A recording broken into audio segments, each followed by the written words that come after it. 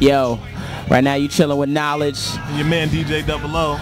We the Kidz in the Hall, and right now you watching Mania TV. We the artists of the day. So we gonna give you a daily dosage of the kids. You know, hip hop is back, hip hop is alive. School is my hustle in stores right now. Yeah, dig. In high school, I was most talkative. Now I'm most decadent. Flow heaven sent, lace intelligent. Yours irrelevant. Hot like fire, cooler than peppermint. Still benevolent. Rose gold necklace. Haters left negligent. Case closed, no settlement or arraignment. For my sanity, not for entertainment. Never on some lame dish. Lean to the left, y'all on the same dish. The name of the album says it all. School was our hustle, and school is how we linked up. Um, me and Double O both went to the University of Pennsylvania. We've been making music for a long time, just grinding and, and just trying to perfect our sound. And sometime after my graduation, which was in 2004, we really decided to go hard and, and make a group and create our own sound and, and really try to put together an album and shop to labels.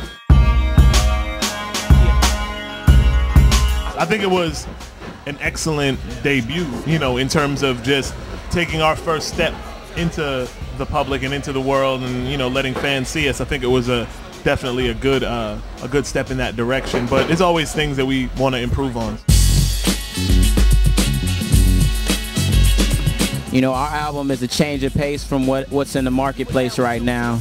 And we're filling a void and a niche that that we grew up on and we're that for a younger generation and that's what's the greatest thing about our album is if you look at MTV, Mania TV, and any other of these stations, but Mania TV is most important, and you, you think that what you're seeing is mundane and redundant and just unoriginal and it's just not speaking to you and connecting to you, we feel like we're providing balance, something different. And I think that's the best thing about our album.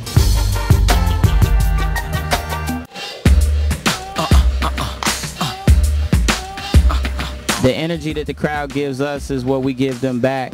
I mean, we give it and then some. We go 110% to give you our energy to let you know we love our music and we want you to love our music because at the end of the day, that's the biggest marketing tool you have is, is really connecting with the audience and letting them feel who you are and letting them feel the pain, the emotion, the happiness, whatever you what you're trying to inject into your songs. That's what we try to do within the show. Yeah.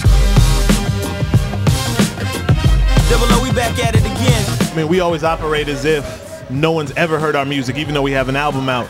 So it's one of those things where we just try to make sure we go out and give the best show possible because that's their first impression of us. You know, there's somebody in there that hasn't even heard of the group, doesn't know who either one is from the next. You know, they might think we both rap or something. So really, it's just getting there and really just putting it down and letting them, you know, just just getting out there and having fun with them too. I mean, we love to get the fans involved because that's what the shows are about. You pay to come money to kind of enjoy an experience and be part of the experience. So, um, you know, we definitely try to make sure the fans participate and just have fun too.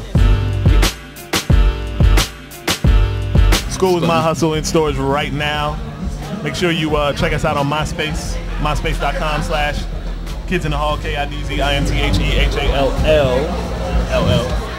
Um, www.kidzinthehall.com. Check the video out. It's on MySpace, Mania TV, anywhere you can get it. These are the tales, the dumbass tales. These are the tales that I tell so well. On Mania TV. The TV that gives you mania. So if you a maniac, then watch Mania TV. These are the tales that I tell so well. About middle class.